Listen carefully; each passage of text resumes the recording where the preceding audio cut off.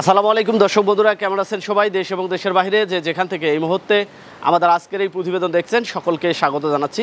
দর্শক বন্ধুরা, এই মুহূর্তে আমরা অবস্থান করছি পাবনা সদর উপজেলার শঙ্করপুর গ্রামে। আজকে আমরা চলে এসেছি আল হায়াত অ্যাগ্রো ফার্মে।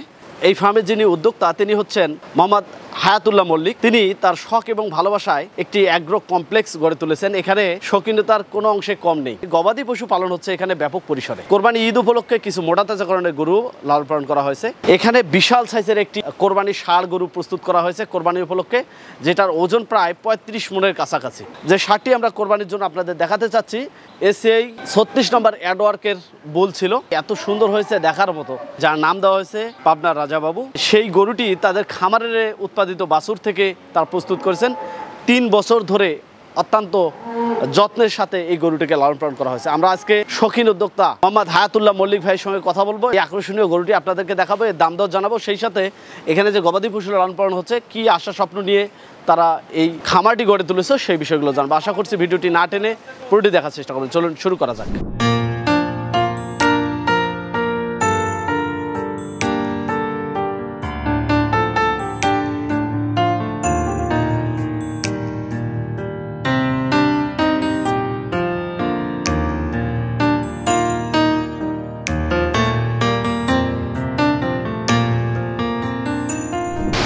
আলাইকুম। ওয়ালাইকুম সালাম। কেমন আছেন? আল্লাহ রহমতুল্লাহ ভালো আছি আমি। আপনি ভালো আছেন? আলহামদুলিল্লাহ আল হায়াত অ্যাগ্রো ফার্মে এসে খুবই ভালো লাগল। এখানকার গবাদি পশু দেখে মার্শাল্লাহ খুবই ভালো। আমরা দুধের গাবি দেখেছি সেই সাথে আমার মনে হচ্ছে যে পাবনার সেরা গরুটা আপনার খামারে রয়েছে রাজা পাবনা যেহেতু কোরবানি ঈদ সামনে চলে আসছে শুরুতে এটি সম্পর্কে একটু জানতে চাই এটি কত বছর থেকে আপনার খামারে লালন পালন হচ্ছে এবং কি স্বপ্ন নিয়ে এটাকে বড় করা হবে? রাজা বড়ু বয়স মোটামুটি এখন সাড়ে তিন বছর। চার দাঁত হয়েছে। এটা আমরা এশিয়ার থেকে বীজ দিছিলাম ছত্রিশ নাম্বার। ইনশাল্লাহ এটা হওয়ার সময় অনেক বড় হয়েছিল হান্ড্রেড পার্সেন্ট। ওই সময় থেকে আমরা এটাকে রেখে লালন পালন করতেছি। ন্যাচারাল খাবার দিছি কিন্তু আমি। খাওয়ানোর পরে ইনশাল্লাহ আমি মনে করব যে পাবনার ডিস্ট্রিক্ট উত্তরবঙ্গের মধ্যে মনে হয় এত বড় সার কেউ এখনও তৈরি করতে পারেনি। তেত্রিশ মন ওজন হবে। তেত্রিশ মন। হ্যাঁ এটা তো আপনার খামারের গাবি থেকে উৎপাদিত হ্যাঁ, এটা আমার নিজের বাড়ির বাচ্চা দিছিল। আরও কিছু সার রয়েছে সেগুলো কি এবছরে কোরবানিতে যাবে? না এগুলো যাবে না আল্লাহ যদি বাচ্চা রাখে আরও আমার সার তৈরি হচ্ছে। আগামী ঈদে আমরা এগুলো তৈরি করব ইনশাল্লাহ আগামী কোরবানির ঈদের আগে আমরা এগুলো বিক্রি করব ইনশাল্লাহ গবাদি পশু লালন পালন করতে গেলে এর এর পিছনে কিন্তু অত্যন্ত ভালোবাসা জড়িত। মানে যত্ন না নিলে সেই তৈরি হয় না ওগুলা। আচ্ছা কোরবানিতে কি আশা করতেছেন এটি নিয়ে? পনেরো লক্ষ টাকা আর কি চাচ্ছি। মানে বেশি দাম চাইলে তো ক্রেতারা আসবে তো পনেরো লক্ষ টাকা দাম চাচ্ছি। কোনো ভাই যদি নেওয়ার ইচ্ছা করে, শখ করে, উনি আসুক। আসার পরে আমার সাথে কথা বলে, সরজমিনে দেখে মানে কথাবার্তা বলে যদি কম বেশি হয়, সমস্যা নেই, আমি তাকে দিয়ে দেবো ইনশাআল্লাহ। মানে লেভেল মানে অনুযায়ী দাম চাইছি আমি, যাতে আপনি আসলে খুব একটা কম বেশি যাতে না হয়। এর নাম শুনে অনেক জায়গা থেকে দেখতে এসে যে এই খামারে নাকি একটা রাজাবাবু আছে। চলে যাওয়ার পরে অনুভূতিটা কেমন তখন আমার গোয়ালে আসলে মনে করেন যে খালি খালি লাগবে তখন আমার মনটা আসলে খারাপ হয়ে যাবে যে ছেলে মেয়ে যখন মানুষ করি আমরা এই গরুকেও কিন্তু আমরা এই রাজাবাবুকে ওইভাবে মানুষ করেছি। আসলে আজকে যদি মানে কেউ যদি নিয়ে চলে যায় তখন আমার এখানে আসলে কিন্তু কষ্ট লাগবে। জি কারণ এত সুন্দর করে মানুষ করেছি আমি। এই ধরনের বড় বড় গরু প্রস্তুত করতে গেলে অত্যন্ত শখ এবং ভালোবাসার প্রয়োজন রয়েছে। চাচার সাথে কথা বলব যিনি এই গরুকে শুরুর দিক থেকে বাইর করছে এবং অত্যন্ত শান্তভাবে একে রেখেছে এখন পর্যন্ত। আসসালামু আলাইকুম। ওয়ালাইকুম আসসালাম। কেমন আছেন আপনি? আলহামদুলিল্লাহ ইনশাল্লাহ ভালো আছি। এই বিশাল দেহের গরুকে বাইর করা থেকে শুরু করে এখন পর্যন্ত আপনি এর সাথে রয়েছেন। হ্যাঁ হ্যাঁ আমি আছি। আমার মনে হয় যে প্রতিনিয়ত এর যত্নটা আপনি করেন। মনে করেন ভোর চারটি থেকে মনে করেন রাত নয়টা পর্যন্ত। এর কাছে সব সময় থাকি একটু গোবর পরিবারের সাথে সাথে ধুয়ে দিই।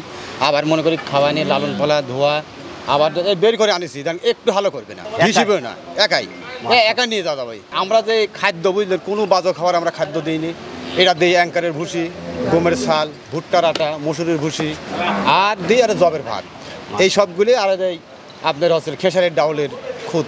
এই শখের ভালোবাসার গরুটা তো ছেড়ে দিতে হবে হ্যাঁ ইনশাল্লাহ দেওয়া লাগবে। মনে করেন যে যেহেতু তো যত্ন করতেছি হয়তো এই বেচাই লাগবে মনে করেন। তো বেশি লাগলে একটু মনে মনে খুব কষ্ট লাগবে।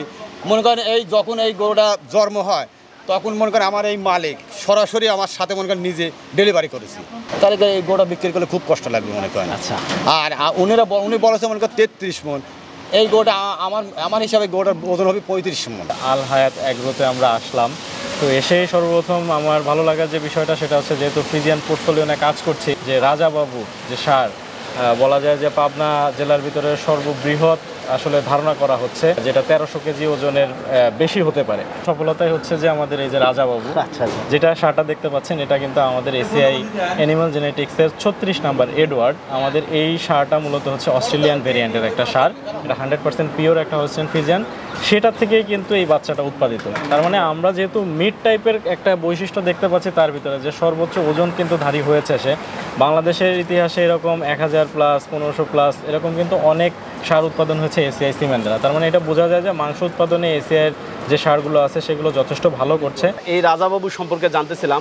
মালিকের সাথে কথা বলার এক পর্যায়ে তিনি বলছিল যে এই বাছুরটি এসিআই সিমেন্ট দ্বারা উৎপাদিত। একটু বলবেন এটি সম্পর্কে। এই বিশাল দেহের সিমেন্ট আপনাদের এখান থেকে উৎপাদিত হচ্ছে। আমার মনে হয় যে শুধু এই খামার না সারা দেশে অসংখ্য খামারিদের মাঝে এই ধরনের বাছুর পেয়েছে খামারিরা। এই সম্পর্কে একটু জানতে চাই। এসি অ্যানিমাল জেনেটিক্স শুরু থেকেই আমরা জাত উন্নয়নের লক্ষ্যে কাজ করছি এবং দুধ ও মাংসের জন্য সবচেয়ে ভালো যে ব্রিডটা ওয়ার্ল্ড আমার যে ব্রিড হলস্টেন ফ্রিজিয়ান ব্রিড সেই হলস্টেন ফ্রিজিয়ান ব্রিডের আমাদের বেশ কিছু ব্লাড লেভেলের সিমেন্ট রয়েছে। আমাদের ইউএসএ বুলের সিমেন্ট আছে। ইউএসএ থেকে আমরা ইম্পোর্ট করে নিয়ে আসছি। আমাদের ইউএসএ বুলও আছে। আজকে যে রাজাবাবুকে আপনারা দেখছেন, অনেক সুন্দর গরু, তার শেপ সাইজ কালার এক্সিলেন্ট এবং আমি মনে করি যে পাবনা জেলার ভিতরে হয়তো রাজাবাবু হয়তো ফার্স্ট হবেন। দুধ মাংসের জন্য যেহেতু হলস্টেন ফিজিয়ান বাংলাদেশে সহ পৃথিবীতে ডুয়েল পারপাস ব্রিড হিসেবে পরিচিত, আমাদের এই যে রাজাবাবু তৈরি হয়েছে, আমরা খামারের মুখ থেকে শুনেছি। এটা হচ্ছে এডওয়ার্ড, ছত্রিশ নাম্বার বুলের এটা বাচ্চা এটা। এই গরুটাকে সাড়ে তিন বছর লালন পালন করছে। আমরা স্কেল মাপ দিয়ে দেখেছি এটা তেরোশো বিশ প্লাস এটাও কেজি ওয়েট ওর প্রায় তেত্রিশ মনের মতো। সারা বাংলাদেশের একদম প্রান্তিক পর্যায়ের খামারিরা যেন উপকৃত হয়। এই জন্য আমরা সরকারের অনুমোদন নিয়ে আমরা মাঠ পর্যায়ে সিমেন্ট দিচ্ছি। আর আমরা হলিস্টেন ভিজানে আবারও বলব যে দুধ এবং মাংসের জন্য এই দুইটাকে পূরণ করার জন্যই হচ্ছে হলেস্টেন ভিজান সারা বিশ্বে বিখ্যাত। বাংলাদেশ মাংসে স্বয়ংসম্পূর্ণ বাংলাদেশ দুধে স্বয়ংসম্পূর্ণ হবে এই হলেস্টেন জাত উন্নয়নের মাধ্যমে। ধন্যবাদ স্যার আপনাকে। যে ধন্যবাদ আপনাকে।